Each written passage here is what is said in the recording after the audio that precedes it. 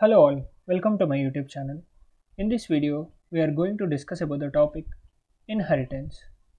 So inheritance is a fundamental concept in object-oriented programming that allows a new class called the derived class or subclass to be based on existing class called base class or superclass. The new class inherits all the properties and behavior of existing class and also add its own unique properties and behavior. So basically there are two there are two types of classes. That is first one is base class or it is also called as parent class. And other is derived class or it is also called as child class. So a child class derives all the properties and methods of the parent class and it can also add new properties and methods to it. Inheritance, allowed, inheritance allows for code reuse as a derived class can use the code from the base class without having to rewrite it. It also allows for better organization of the code as similar classes can group it together in a hierarchy based on similarities and differences. Next, let us see about super keyword. In object-oriented programming, the super keyword refers to the immediate parent class of a subclass. It is used to access the methods and properties of parent class from within the subclass. So we have already discussed that there are two types of classes, parent class and derived class. So if a super keyword is used in derived, derived class then this means it is referring to the parent class.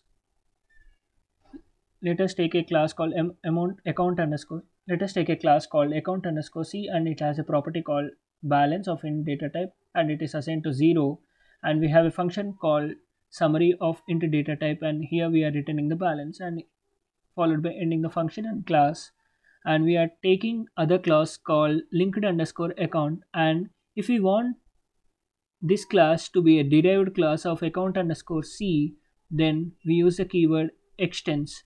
So this linked underscore account will be a derived class of the class account underscore c. So account underscore c is the main account underscore c is the base class and linked underscore account is the derived class. And this class has a property called balance of int data type. And we are declaring a method called int summary of int data type. And we are returning the balance plus super dot balance. Here super dot balance refers to the balance in the main class. Here we have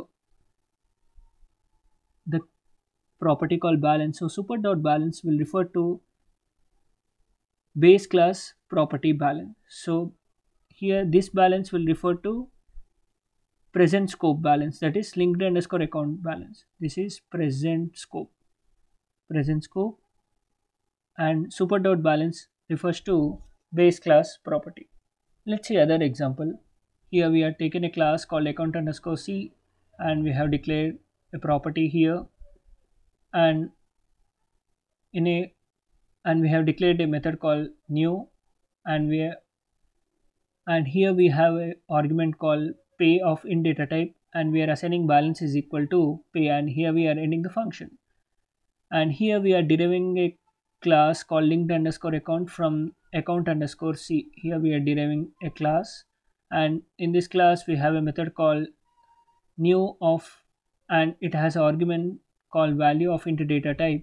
And here we are passing super dot new of value through the constructor, we are passing the argument called value.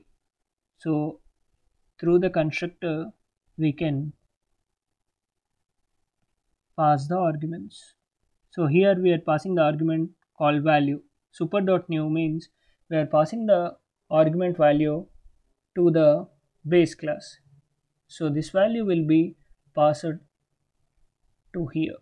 So pay will be equal to value and here we are ending the function. And in top module we are creating a handle for linked underscore account called link underscore h. And within initial beginning block we are creating object for this handle link underscore h and we are passing the value to this constructor as 50 so this 50 will be passed will be copied to value and this value will be sent to this copied to this argument p. So balance will be equal to p. So balance will be equal to 50 so by using this super keyword we are referring to the parent or base class. So that's all about inheritance and super keyword. So thank you for watching this video